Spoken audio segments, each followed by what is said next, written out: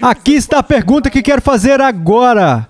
Por que o arrependimento e a fé são tão difíceis? Por que existe tanta violência envolvida? Por que existem tantas pessoas buscando entrar que não serão capazes? Por quê? Agora, escute cuidadosamente. Vou ler para vocês outro versículo. Este versículo vem do final da Bíblia. E escute com atenção como a Bíblia é finalizada. E o último livro do Novo Testamento está chegando ao final. E a última coisa que o Senhor Jesus Cristo quer deixar com este mundo é isto. Aquele que tem sede, venha. Receba de graça a água da vida. E quem quiser, receba de graça a água da vida. Prêmio. Deixe-me dizer algo a vocês. A porta para o céu, para o reino de Deus, é estreita. Sim, é estreita. É bem estreita.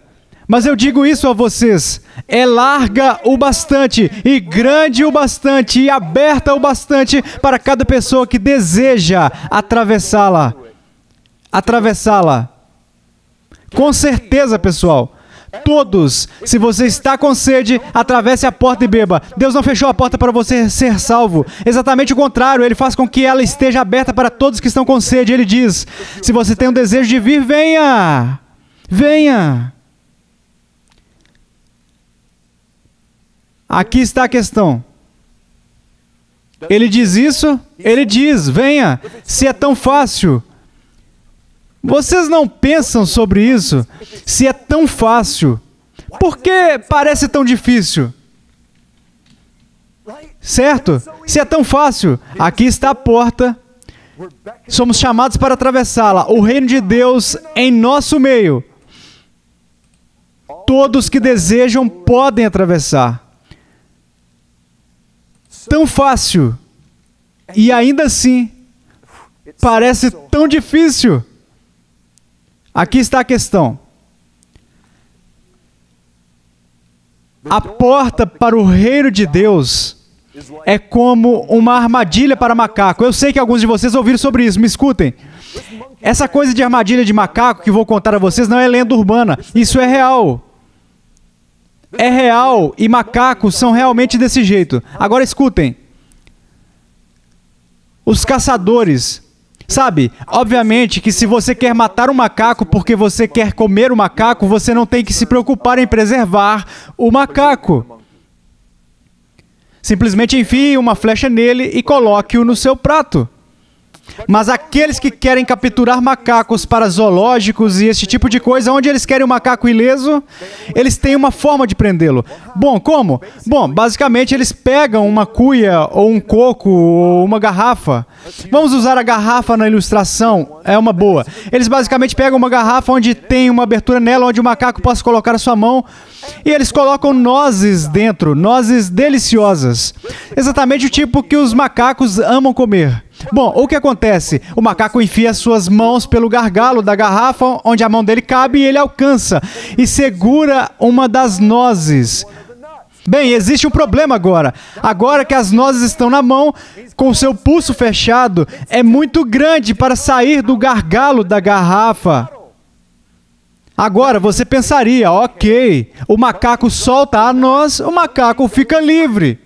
Isso é verdade. Mas adivinhe o que eles descobriram? O macaco nunca irá largar a nós.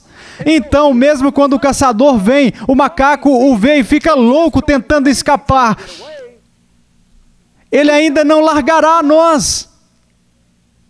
Os caçadores o pegam e o levam. E sabe, vou lhes dizer novamente, isso não é uma lenda urbana, é assim que eles capturam. Eu li sobre isso na internet, nunca vi isso sendo feito, mas acredito realmente que isso de fato acontece. A porta do caminho ao reino de Deus é exatamente da mesma forma. É grande o suficiente para você entrar se você arrancar os olhos. e largar essas nozes em arrependimento que Cristo te chama para largar. Esse é o objetivo. Se você não arrancar o olho, você não consegue passar. Se você não largar a nós, você não irá passar.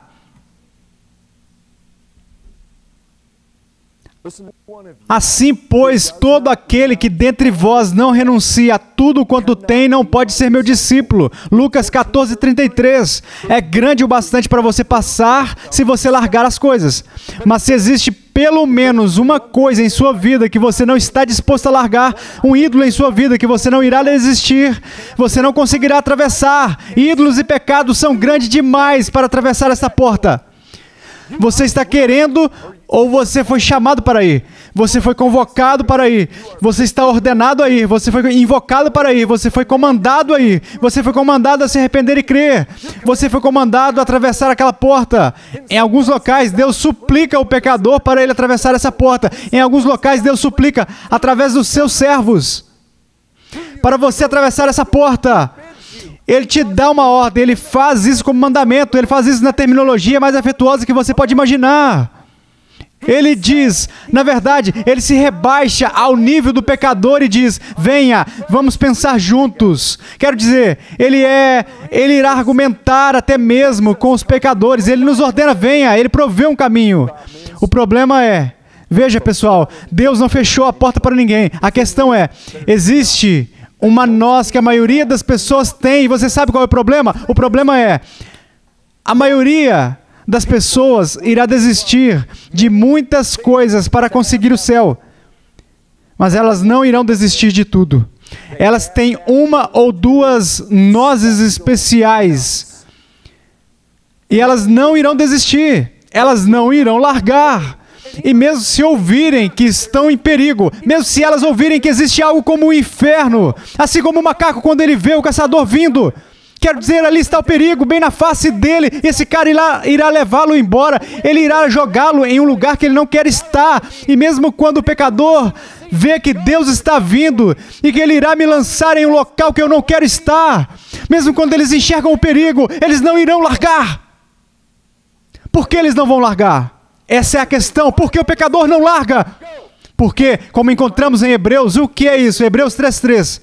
A desonestidade do pecado Sabe, pessoal, quando você realmente resume o problema, você sabe por que as pessoas não se arrependem?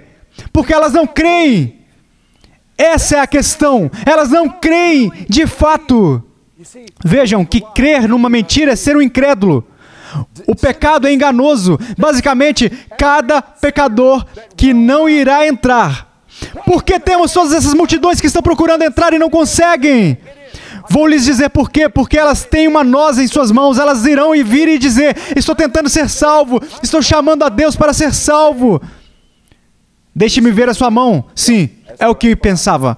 Não consegue tirar a mão, porque tem a noz em sua mão. E elas virão e estarão em lágrimas, e sabe, eu clamei pelo Senhor e ele não me salvou. Estou fazendo isso, fazendo aquilo, estou indo à igreja e ele não quer me salvar.